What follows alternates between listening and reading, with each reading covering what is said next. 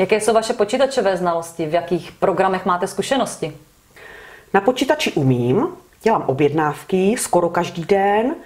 Eh, na internetu vyhledám cokoliv potřebuju a i na Facebooku, na Instagramu, EET, pokladna, všechno zvládám dobře.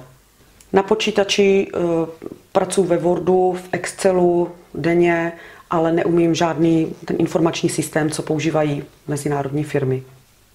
Státní zpráva má vlastní systém, ale jinak běžně, běžně umím MS Office.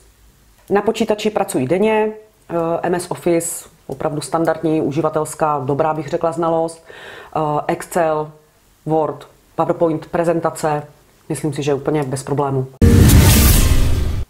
Jaké jsou vaše počítačové znalosti, jaké programy ovládáte? Tak eh, tuto otázku určitě budete v různých podobách na pohovoru řešit a nám jde hlavně o to, aby jsme zjistili, jaká je vaše celkově počítačová gramotnost. Do životopisu si často napíšete jenom tak nějak obecně, MS Office, uživatelsky. Jo, a teď tam možná vyjmenujete nějaký programy a většinou už k ním nic eh, nenapíšete. Photoshop, že jo, pohoda, jo, a jenom, jenom prostě ty názvy tam napíšete. Takže na tom pohovoru potom jde o to, aby jsme to probrali, co všechno jste v té pohodě dělali, co všechno jste tam účtovali, co všechno eh, v MS Office umíte. Čem se vlastně bavíme eh, v rámci toho výběrového řízení, samozřejmě hodně záleží, na kterou pozici se hlásíte. Když se budete třeba hlásit na asistentku jednatele, tak předpokládejme, že po vás budou chtít, abyste připravovali nějaké dokumenty pro jednatele. Budete psát asi nějaké dopisy ve Wordu, asi v Excelu budete dělat nějaké jednoduché tabulky, asi po vás nebudou chtít makra nebo nějaké kontingenční tabulky, ale prostě nějakou základní tabulku, základní funkce byste zvládnout měli PowerPointovou prezentaci. Co vás často překvapí u výběrových řízení je, že vám dají vlastně praktický úkol že vám dají úkol na počítači, tady mě udělejte takovouhle tabulku, dají vám tam prostě půl hodinku na to vyřešení. Takže doporučuji zase se na to prostě připravit.